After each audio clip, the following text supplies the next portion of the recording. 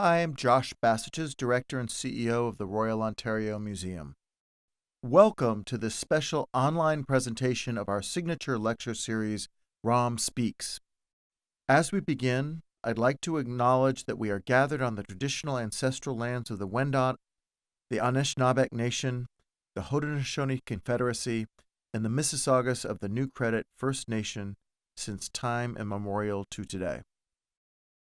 From fascinating viewpoints to thought provoking insights, ROM Speaks presents the brightest minds and most compelling voices on ideas that matter across art, culture, and nature. Please enjoy this essential new addition to our ROM at Home digital programming. And I look forward to welcoming you back to the museum for more programs like this when it is safe to do so. We're going to have fun tonight. I thought I would just kind of take you through what it's like to work for National Geographic. Um, I've been with them for a long time now as a freelancer. We're all freelancers, there's not really any staff photographers left. Um, and I can tell you this that it's no picnic. People say it's got to be a lot of fun. Well, I don't know. I mean, the number one question I get asked uh, whenever I speak someplace is Have you ever come close to getting killed on assignment? That's all pe- people want to know.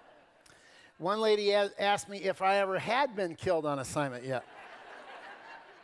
Not yet, but you know, we're asking for it, aren't we? When we when we pop a flash off in a bison's face, what's he going to do? He's going to pin you underneath the feed truck for an hour. While you're down there, you may as well take some more pictures, I guess. Why not? Why not? Uh, the truth is, really, it's the little stuff that I worry about. The little stuff. I've had a flesh eating parasite from the bite of a sandfly in Bolivia that required a PICC line into the top chamber of my heart for a month. That was no fun. Um, I've had uh, gotten, gotten exposed to the Marburg virus, had to be in quarantine for a month. You know, I was supposed to take my temperature twice a day, and I was starting to show a fever. I was supposed to drive by myself to a hospital and they have a negative air pressure bubble inside a negative air pressure room, and my odds would have been 50 50. Of course, I checked my temperature 100 times a day and uh, never got it. But you know, we're, we're asking for it, aren't we, when we do pictures like this? This is, uh, this is on assignment in Alaska. I hadn't made a good picture in three days, and I was desperate. So I took off my shoes and socks just to show the insect load up there. Um, it ran big in the magazine, and one lady sent me a coupon for a free pedicure, which was very nice. it's a good thing. Um, the other question I get all the time is how do you get a job with National Geographic? Well, for me, I grew up in Nebraska. I went to the University of Nebraska, where the N stands for knowledge. That's correct.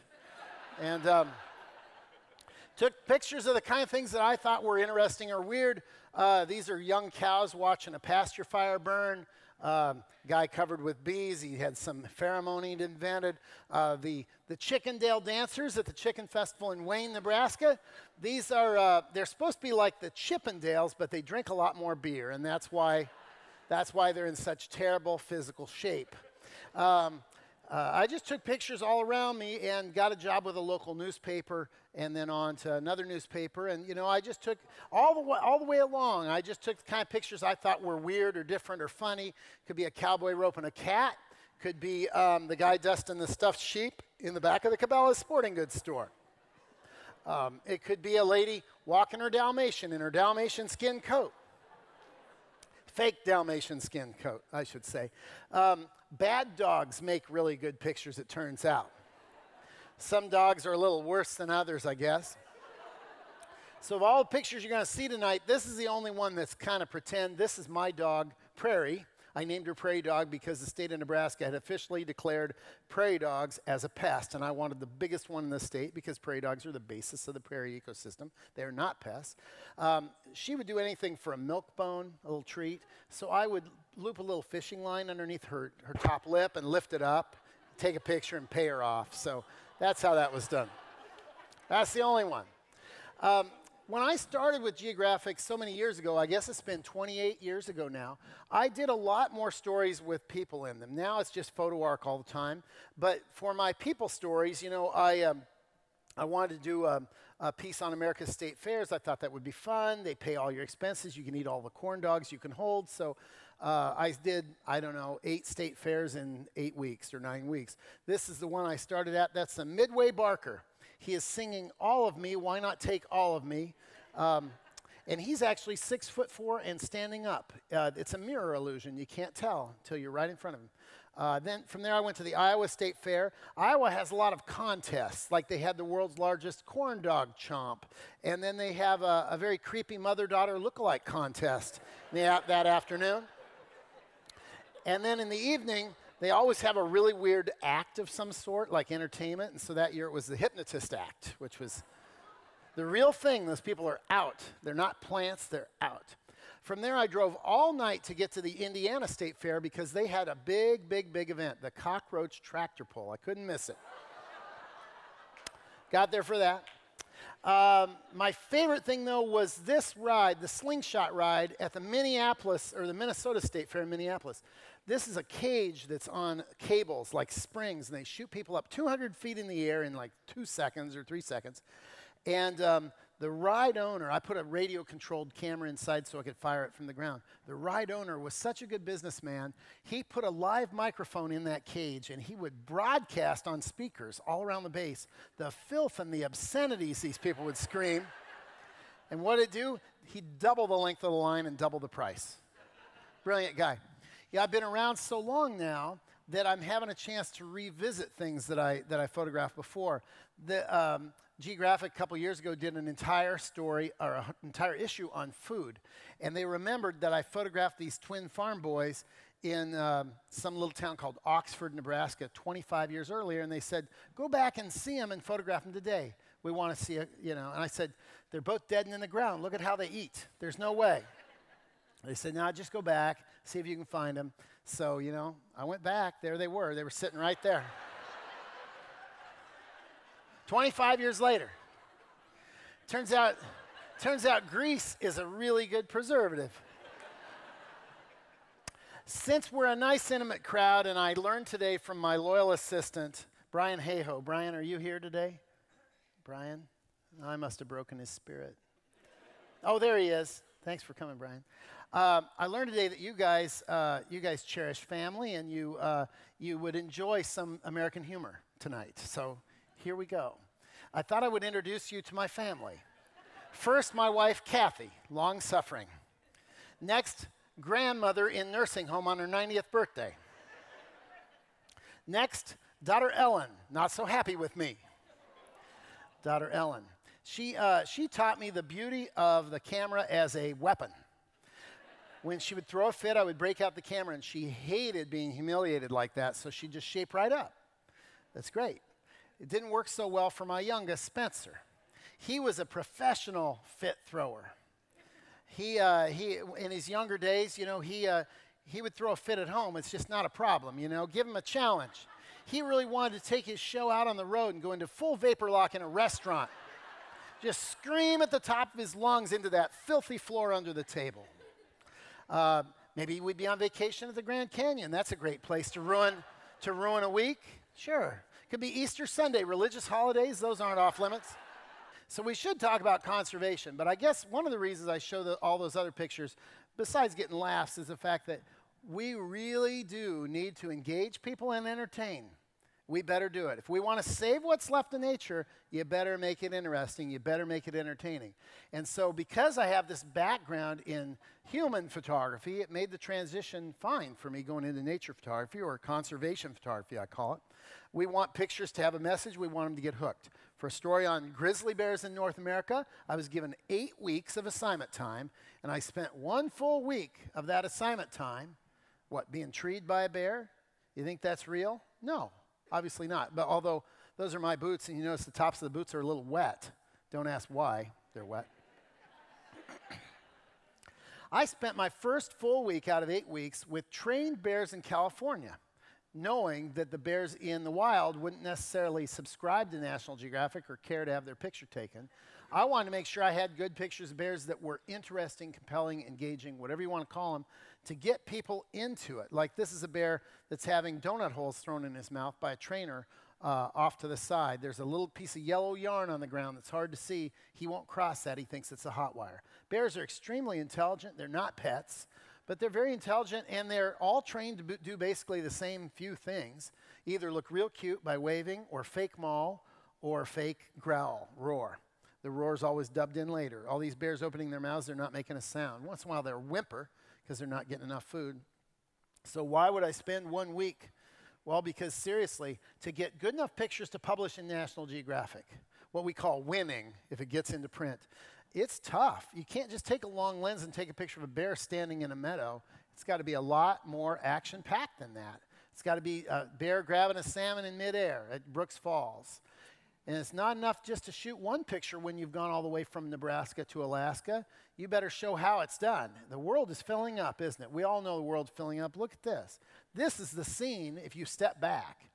It's 30 to 40,000 photographers a year shooting over a million pictures of those same eight or nine bears that catch fish in midair, most of them bob for salmon at the base of the waterfalls.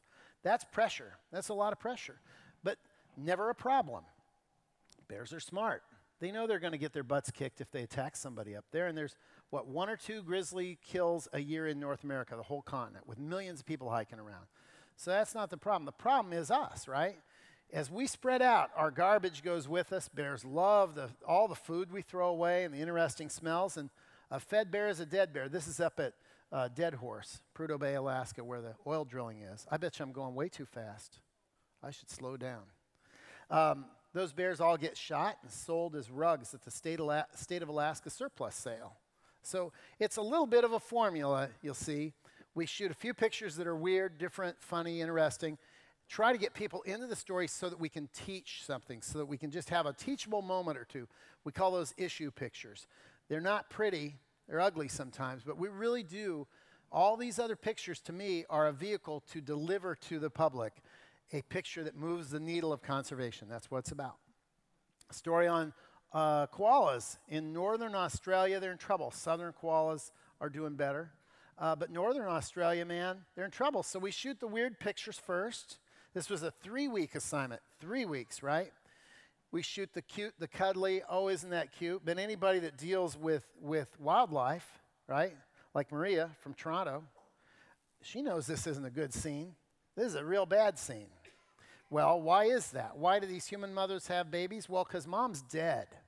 Mom tried to get down out of a tree and she, from the golf course, that's the last place she can live, and she tried crossing the road and she gets hit by a car, or more likely, bitten by dogs. They have no defense against dogs.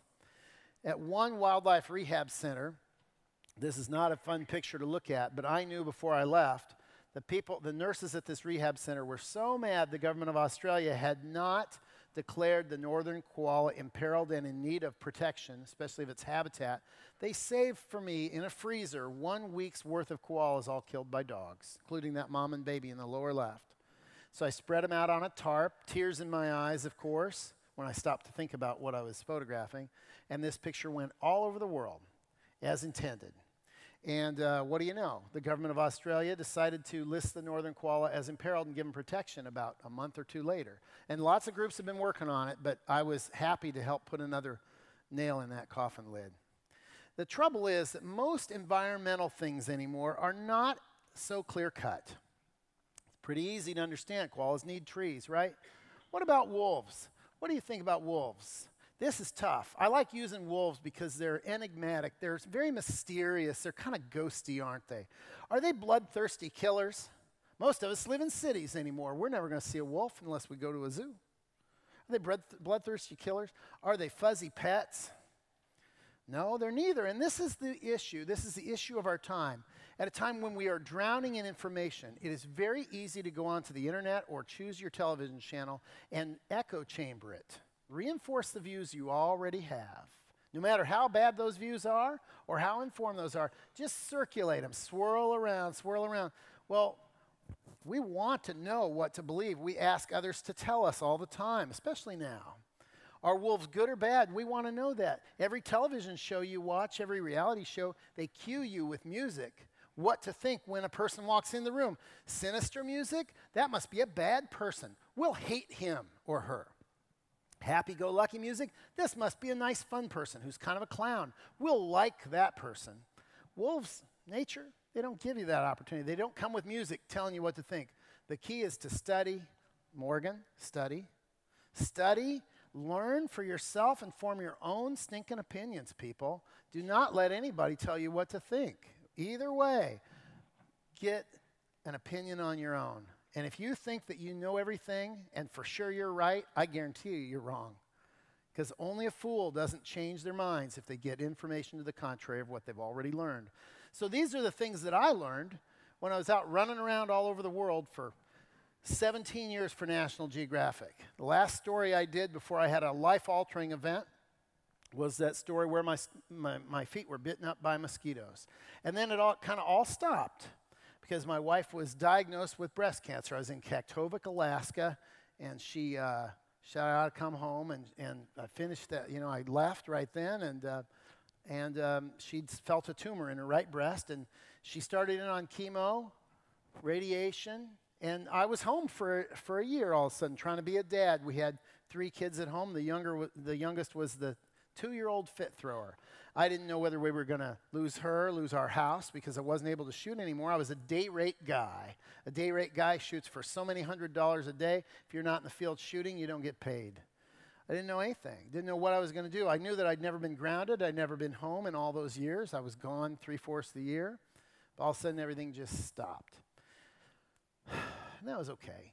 It was all right. I mean, I had a chance to think. And it's been, it's been almost 13 years, 12 years now. Kathy's fine. She made it through, which is excellent. And here we are today. Thank you. And um, it taught me the shortness of life, and it taught me to, to rededicate myself to trying to do something that will move the needle in a big way. I, uh, I thought about the work of John James Audubon, who's my hero. He's the ultimate wildlife storyteller to me. He's the first one to really paint birds doing the things they do rather than just as sideways pictures like I shoot for the Photo Ark, to be honest with you. He actually showed them doing things. And he described these birds in a way that, that we, would, we would have lost all time. These are all extinct now were it not for him. He didn't just paint them, but he described them. He's a great naturalist.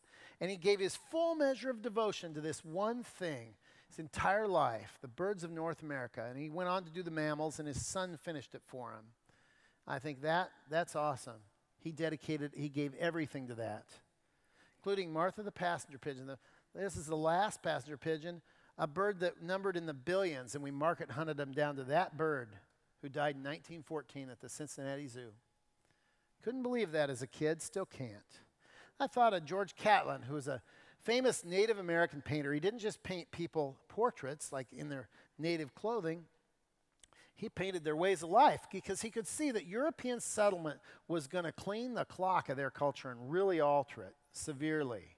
Can you imagine? These are the things that he saw. But again, here's a guy gave his entire adult life to this one thing 35, 40 years. And then Edward Curtis came along at the dawn of the photographic era. He got a loan from J.P. Morgan, basically a grant, 75 grand, which was a lot of money. And he, could, he hired linguists, he hired interpreters, he hired guides, trackers, he hired early filmmakers, and lots of glass plate negatives, and went around and documented 88 tribes in the American West and created this body of work at the very last minute these people knew the old ways, or at least their parents and grandparents did. At the very last minute, was able to photograph tradition that would have been lost forever. So I thought, that's for me. Now, what to do about it? One thing, specialize in one thing. Focus. Focus. I'm a pretty focused guy. So I tried this. On the days when Kathy felt better, I would put a radio controlled camera, similar to the one I photographed on the slingshot ride in Minnesota, the state fair. And I put it out next to plants where I could see birds using the habitat that they like, like American goldfinch, like thistles and weedy acreages. Bluebirds are a, are a bird of short grass and gardens. I thought I'm going to try to show these birds in the correct habitat, lit beautifully, just really show them in their environment.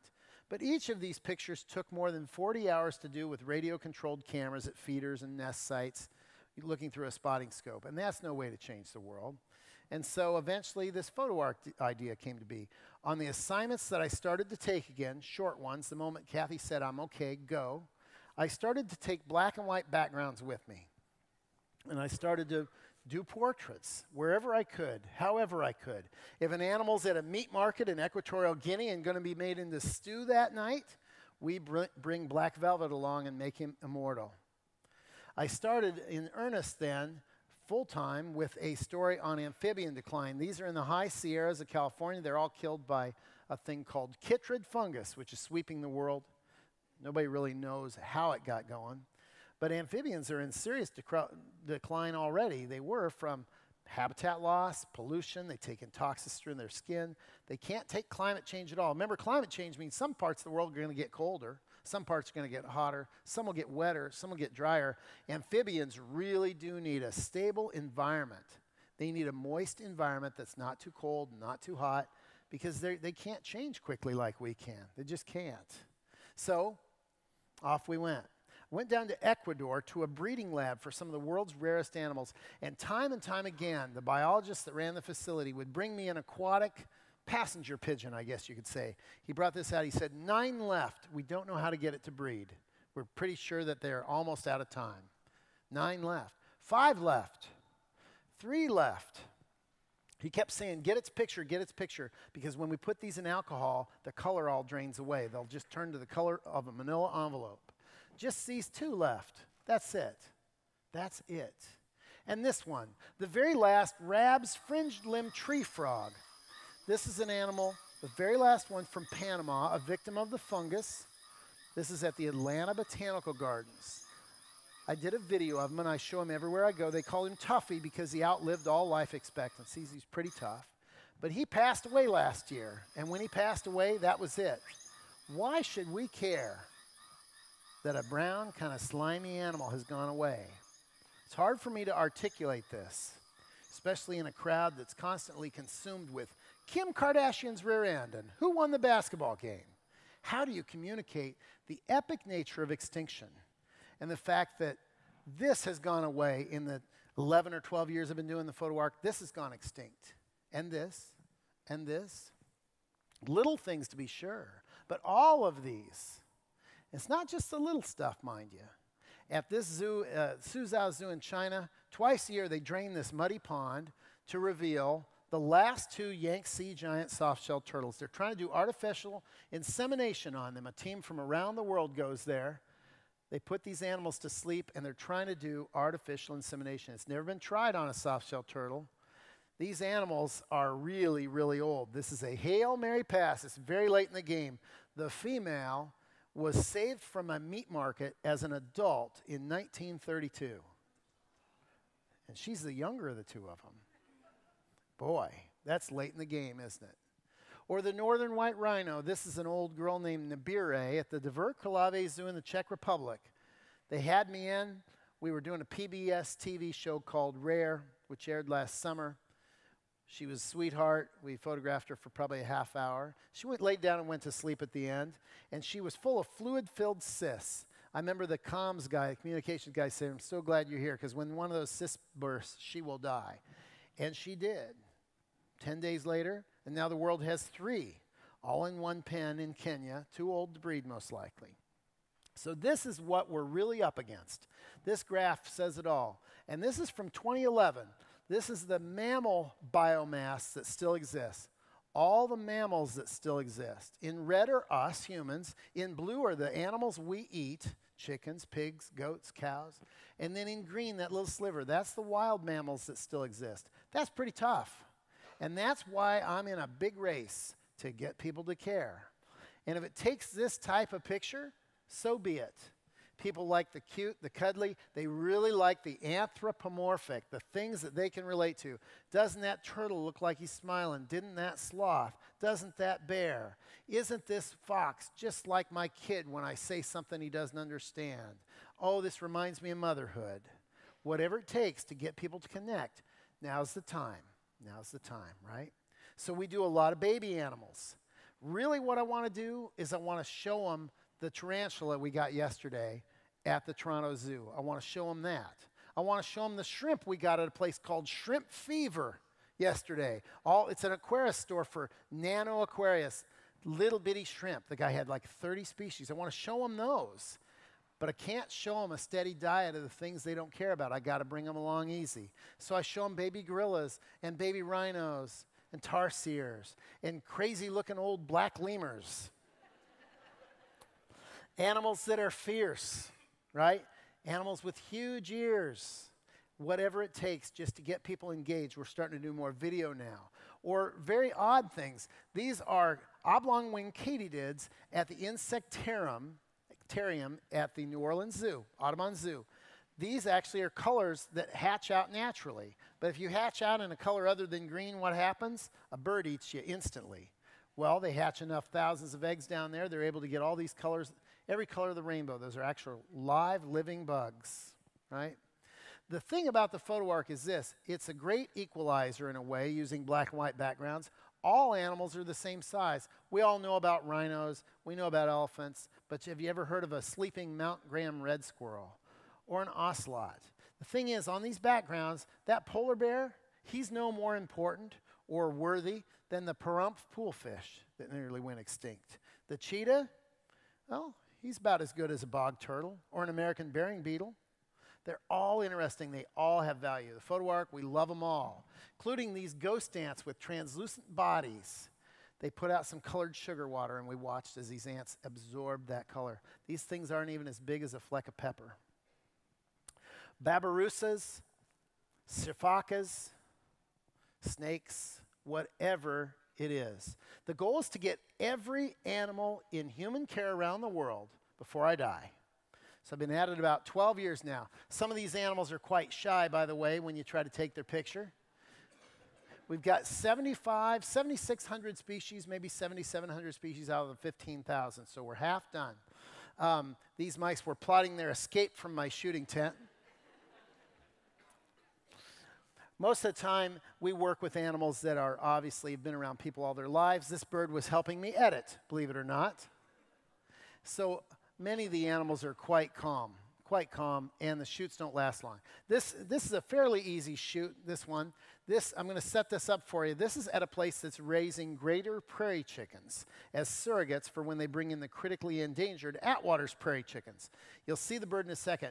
These birds are so jacked up in the spring, the males, on testosterone. This male, this lady's caretaking these birds. She's raised them from eggs. She's going to wave her hand, and this bird, this male, is going to come over and perform for her hand. All right, here we go.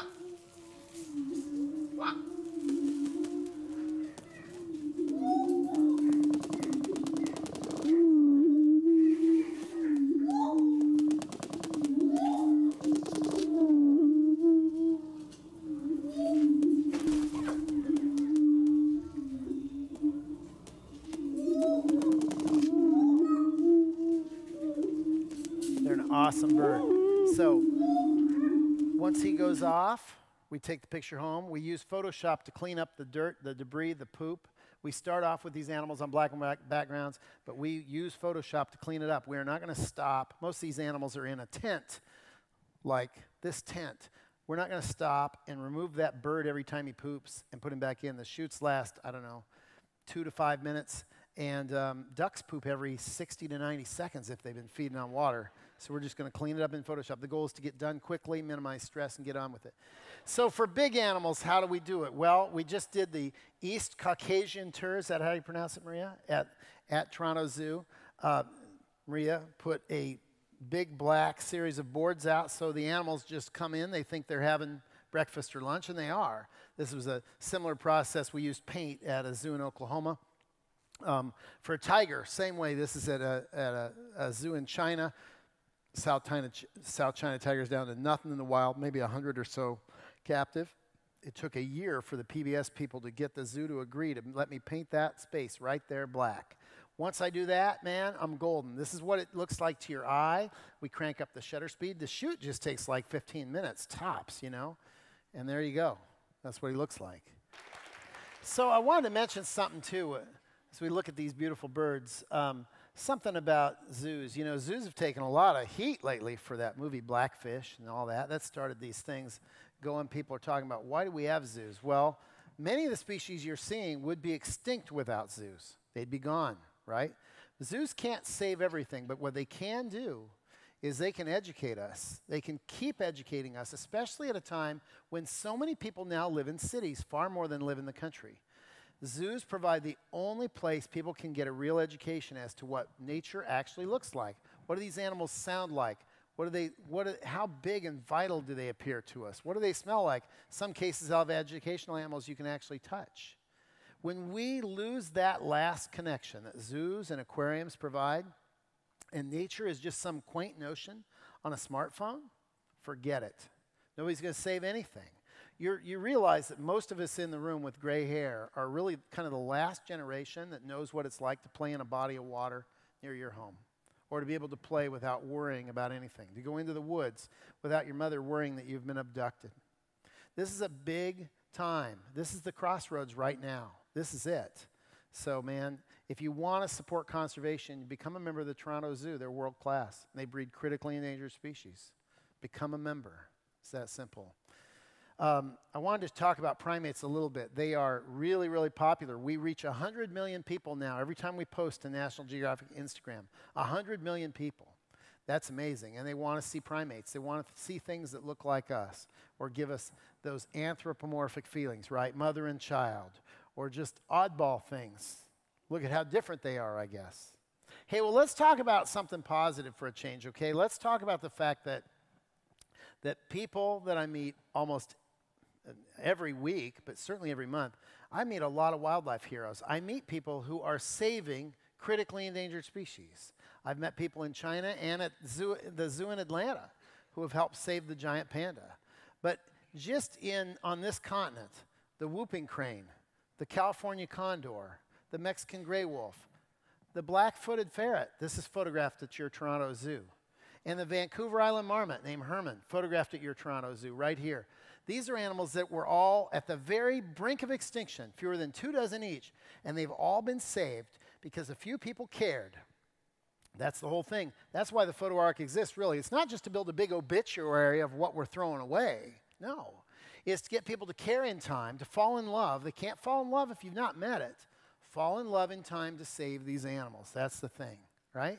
That's it. Here's some other animals at your Toronto Zoo, right? Amazing in every way. I see new things every time I go there, right? The shrike breeding program. This is the only predatory songbird in North America, the shrike.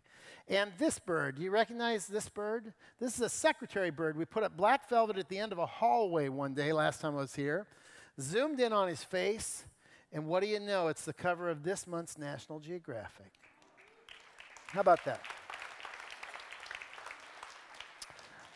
Wildlife heroes. These are the people that keep me going. People say, Do you ever get bummed when you run across extinction or an animal you know? Nope, I don't. I get, I get mad and I get inspired to want to tell more stories and get more people into the tent. We're going to lose species, but we don't have to lose as many as we think we might if the public doesn't learn about this and care. The guy named Mike Lubbock, he runs Sylvan Heights Waterfowl. That guy and one other guy saved the pink eared duck from extinction. When he was a very young man, he collected eggs from a bird that was going away in the wild. He did that. He cares about waterfowl. This guy, Don Butler, and his wife Ann, they run Pheasant Heaven in Clinton, North Carolina. In their aviaries on their farm, they have 18 different species of pheasants, nine critically endangered, including this one, which is extinct in the wild in Vietnam now. They had 11% of the world's population of this pheasant right there at their place. As I'm photographing these birds in his garage in this big tent that we have that keeps the birds calm once they're inside, he's looking at the back of my camera and he's saying, I'm so glad you're here, Joel. There are no good pictures of this bird alive. They're all pictures of him dead in the, in the manuals we look at for identification. There are no good pictures of this one, he said. There's no good pictures of this one or this one. And I'm thinking, wow, these things look like Las Vegas showgirls. If there are no good pictures of these things, surely there's no good pictures of anything else. Small brown things, sparrows, newts, toads, worms, anything. And that's the deal. There's lots of room for improvement in terms of public education. This is another hero. This guy is not a, he's not, he doesn't work at a zoo, he doesn't breed animals. He's just out there educating people to the dangers of coal fines. This is what happens when you wash coal and it escapes into the river or purposely put into the rivers in Kentucky and Tennessee. It smothers critically endangered mussels. He is a mycologist. He's do- donated his, dedicated his entire life to saving mussels, which don't even have eyes. I tried to photograph the so it looked like faces, I guess. Tilo Nadler. Here's a guy that started the Endangered Primate Rescue Center in Cuc Phuong National Park in Vietnam. He did this as an older gentleman. He was an electronics engineer who went there on vacation in 1990, and he saw that a number of baby primates were being confiscated by the government and they, they were being smuggled into China as pets. And he was like, It wasn't my work, it wasn't my profession, but what am I supposed to do? They were euthanizing all these beautiful baby primates. So he started this rescue center. I went over and we used transfer cages as little mini sets. But the thing I love about Tilo is this there's so many guns in Vietnam, there's so many hunters in Vietnam that he knows he can never release these animals in his lifetime. But he does it anyway. He keeps nine different species again. This one, there's only 55 of them alive at the time I was there a couple years ago, and he had 13 of them. I mean, that's amazing. He did it anyway. He did it because it was hard. He did it because it was the right thing to do, no matter what the projections are for Vietnam, whether they're going to come through this biological bio- bottleneck with any of their species left intact or not. He doesn't care. He cares that these animals need help right now, and that's what he's doing. And he'll never live long enough to see these animals released. And that, to me, is awesome. That's awesome. So, what do we do with these pictures? Well, we give them away. National Geographic sponsoring the project, and we come along and we we do the pictures wherever we work. We give them to the zoos, the wildlife rehab centers, the private breeders, the aquariums. We give these pictures away so that the pictures can be used for all time to help save animals, right? The I am not a trinket sign that runs everywhere. We, Ellen and I, Ellen, daughter Ellen's here tonight. We saw this at an airport coming up here. Houston Zoo's been a big supporter. They put them on their admission tickets and on the sides of buildings. The pictures were doing it. They did a Times Square takeover last summer which was a nice thing. Geographic's come on board fully now, did 10 different covers of the Photo Ark to announce it to the world. And this film, Racing Extinction, done by a, a movie maker named Louie Psihoyos, he asked if he could use some of the pictures and the video I'd shot on a few building projections. I didn't even know what a building projection was. So, by introducing the, the, the, whole notion of biodiversity, most people still don't know what that means. By introducing this to the world steadily, like an ad campaign, over years. That's the way that we try to win hearts and minds towards caring about nature, right? It starts with people like daughter Ellen, you know. Her generation, they're confined to computers. Everything they see is on a computer. And yet she knows still, even though she doesn't get out a whole lot, she knows that you want to drive a Prius rather than a pickup. You want to ride a bike. You should recycle. Absolutely. But true change is generational. It doesn't happen overnight, and that's a shame because I like to get things done now. Type A. And yet we know that energy efficient everything, it's not just good for the environment, it's good for your wallet. Lower, lower consumption light bulbs all the way up to insulating your homes properly. Gets cold here, right? You are blowing money if you don't have adequate insulation in your attic. Do it. You'll make money doing this stuff. Green is good. Uh, buying and eating locally sourced foods. Why tr- pay to have things trucked all the way across the continent? Eat things seasonally. Eat less meat. Meat takes a lot of energy, a lot of chemicals, a lot of water to produce it. And when you buy locally, you know what? It tastes better. It's largely organic. This is a problem. This is a 30 minutes from my house. This is a huge problem. Big monoculture farms, there's not much room li- for anything else, is there? That's tough. That's really tough. We pulled out, by the way, we eliminated our lawn and we planted a no water fescue. And in the corner, we left that so that we could plant milkweed for monarchs. Monarchs really, really do need our help. Pollinating insects in general. Why should we care what happens to the, to the bees and the butterflies? One third of every bite of food you eat is brought to you thanks to a pollinating insect. That's important. We like to eat, we like the status quo, we want our good lifestyles. Better preserve nature. We ought to. Mandating environmental education in schools is a wonderful thing and really important, especially as kids get farther and farther from the forest, right? Daughter Ellen in her room, she knows that it's about the stuff we buy. She had cleaned her room prior to this picture for me. The stuff we buy. This is the biggest thing of all. You do not have to wait for an election year to vote. The stuff you buy. How do you spend your money? What do you spend it on? Every time you break out your purse or your wallet, you are saying to a retailer, I approve of this. I want you to do it again and again and again, no matter where it's made and what it's made from. Do it again and again and again. That moves mountains. Your dollar moves mountains, right? And the other thing, get out, get outside, take kids outside, let them get muddy. Kids love to get muddy. Even Spencer the fit thrower go fishing with his dad if I bribe him in ice cream enough, right? So I guess to sum it up, I wanted to just mention this, if I could. We've never had a better time to try to save the world thanks to the power of the web. You can get, you can get your feelings known. You can get your good deeds known. You can, you can highlight companies that are doing the right thing. You can bring down bad things, right? This is an excellent time, but do not count on somebody else doing it. You're it. You are it. Thanks for listening, everybody.